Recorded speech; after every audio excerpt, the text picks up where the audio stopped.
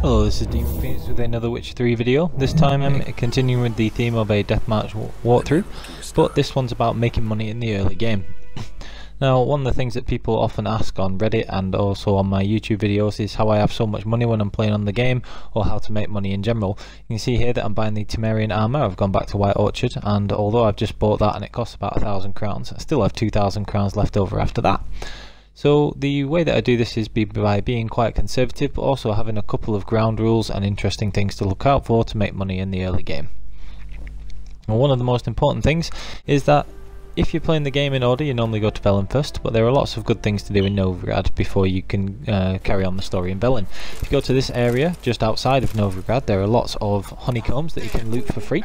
Uh, there's a couple in the field just over from there as well, and honeycombs can be sold to alchemists for pretty good profit. I also spend about half an hour to an hour and a half, depending on how bothered you how bothered you can be and how bored you get, wandering around Novigrad. Now, it's best to go around at night when there are less guards and you can loot things to your heart's content. You get lots of things like hard alcohol, which is useful for meditating and replenishing your stock, but you also see things here like I get the Devana Runestone and alchemy paste and alchemist powders, and there's a lot of things that you can sell. You also end up getting a lot of alkahest and dwarven spirit, so much so that you can sell some of those later. Now, one of the earliest places that I will go to is this Novigrad Square here in the middle of Novigrad. Now, it's very convenient because there's a lot of very interesting merchants and other people um, that you can do a lot of good stuff with to make money. First of all, there's Vimme Vivaldi, the banker, and as well as getting the Vesemir card from him in Gwent, you can also take a loan from him. Now as I mentioned in one of my other videos, you can take this loan for 100 crowns and at the start of the game 100 crowns is quite a lot. It's about a tenth as much as the Temerian armour so you're one tenth of the way there with that. And you can pay it back for 130 crowns and there's no interest for it being longer or anything like that.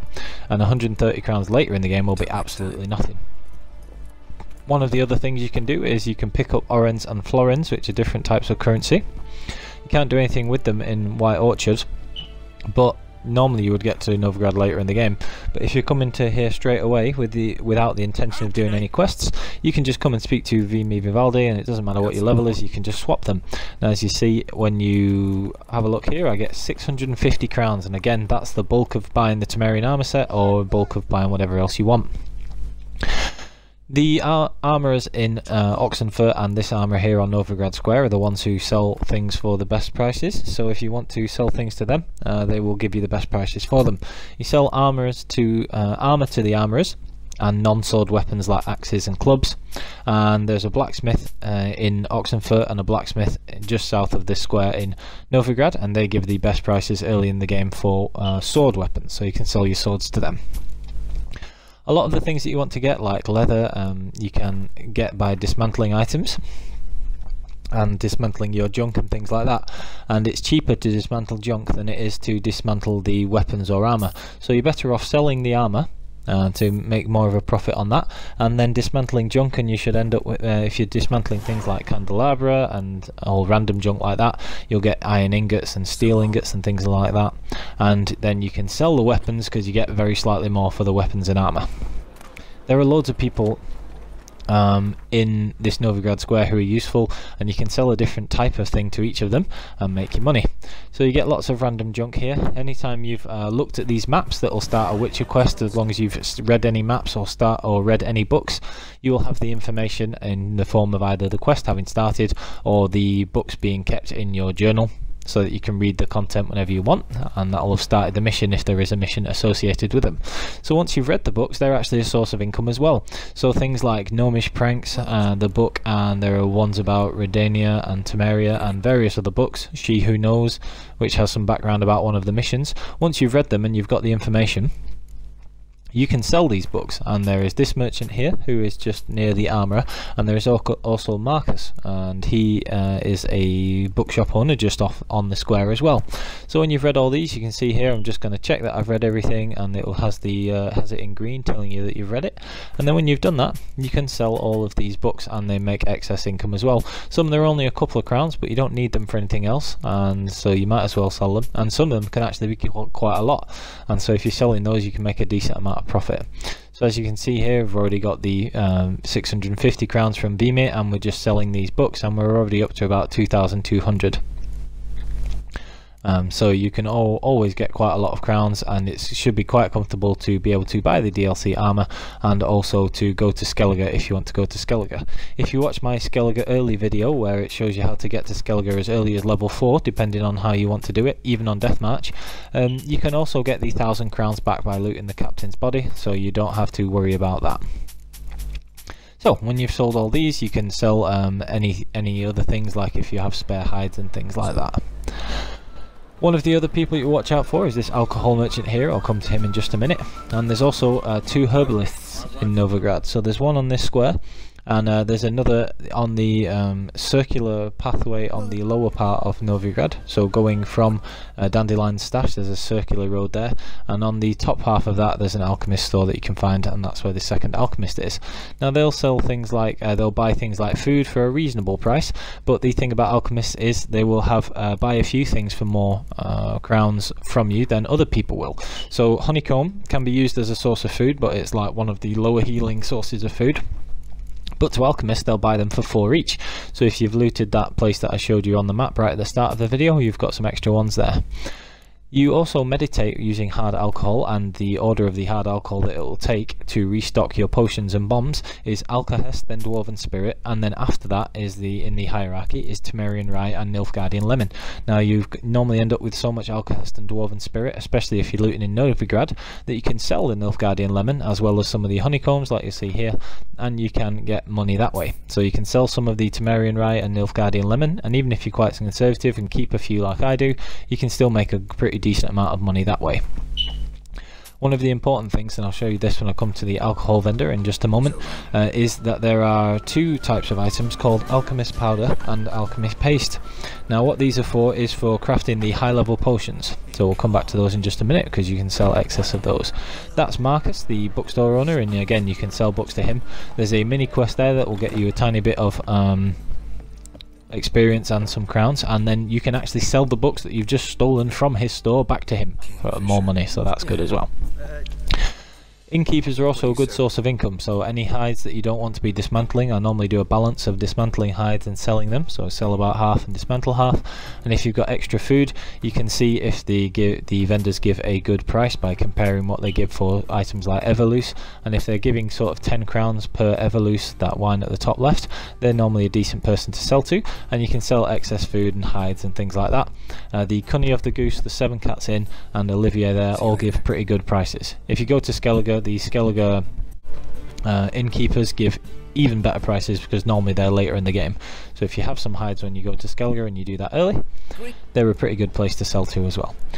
Now this is the merchant who is a, sort of an alcohol merchant, almost a wine merchant, uh, on Novigrad Square. Now he has things like cherry cordial and mandrake cordial, which you use to make white gull for higher level things, but that's not something we concern ourselves with early in the game.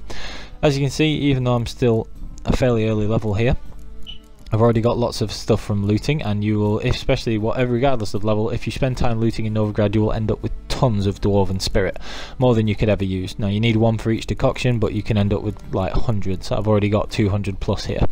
So you, again, you can sell to this guy and he buys the Nilfgaardian Lemon and Temerian Rye for high prices and he also gives uh, 7 for per Dwarven Spirit which is quite a lot. Now as I was saying before there is Alchemy Paste and Alchemist Powder. Now Alchemist Powder you only need 7 of in the entire game as far as I can count and that is one each for making the, the superior bombs and Alchemy Paste you can use for making master arm, uh, master repair kits but I don't use those. I just use the journeyman ones because they do 40% repair and that's more than enough. And you get lots of those for free in the game. So you never really need alchemist paste. So you can sell alchemist paste and alchemy powder one of the other things is with those repair kits you'll pick up quite a lot and you can use those instead of repairing an armourer. Um, early on you can repair with the armour and pay them um, because it doesn't cost very much but the higher level you get the more it costs to repair. So start using the repair kits after you're about level 10 you should have a good amount built up and you can just use the repair kits there. So this is the blacksmith and he is in a slightly different square just south of the main Novigrad square and he's the person that you want to sell a lot of your weapons when you've been raiding bandit camps and things and you get lots of swords you can just sell most of them to most of them to him and that'll make you a good little profit as well and then run around the corner and sell the armors to the armorers uh, the armor who's on Novigrad Square. So if you're selling these, even though they don't add up to very much, um, individually, when you're selling them all, you can get quite a lot. Now if you dismantle the swords you can get things like iron ingots, but you should get plenty of those from dismantling your random junk like chains and candelabra and things like that. So it's better to um, dismantle the junk because that costs less to dismantle and then sell the swords. Uh, if there's a sword that's valuable then you can just um, maybe smelt, sell that or dismantle it. As you can see there I just sold a lesser triglav runestone as well. They sell for 102 and they're a good source of income. You get lots of those you can always spare, sell a couple of spares. You also want to sell any um, saddles and extra things you get there um, to either the armourer or the blacksmith as well because they give the best prices for them. So with crafting there are some things you always want to dismantle like shells you always want to dismantle into pearls because pearls are worth a lot more and you can sell those again to any blacksmiths. As you can see here I've got a lot of uh, skins from killing animals and random looting and I tend to dismantle about half of those and then sell about half of them. You can always keep five of each skin just so that you have them there in case you ever really need them or you've uh, miscalculated and then you can always take them out of your stash if you keep five of each and then you can dismantle them in order to make stuff. If you're really really struggling for money early in the game you can watch my video that I will link in the description where there is a Hearts of Stone glitch where you can just um, farm pigskins or you can go to the cow farms in uh, Hearts of Stone as well, find those on the map, kill a load of cows and get hides from them. Um, but if you follow these basic tips I think that you'll find that you have more than enough money to be able to do that and you should be plenty set up for the rest of the game. As you can see like I had about 3,000 crowns before we'd even got to um, buying the Temerian armor and you should carry on making money like this. When you end up upgrading your armor, I use the Viper uh, Serpentine swords from White Orchard and put a Devana runestone in each. And I use those pretty much right up until um, you get the Griffin swords at level 11. So here I've just crafted the Griffin swords and what you can do is after you've crafted those um, is you can dismantle the Viper Silver Sword and the Viper Steel Sword and get the Devana Runestone back and then you can put the Devana Runestones back into your Griffin sets. So I hope you found that useful. Uh, it is quite easy to make money in the game when you're following that especially with selling the Alchemist Powder and Alchemy Paste. So I hope this can be used in conjunction with my Death March guide. I hope you found it useful. Thank you for watching. Bye bye.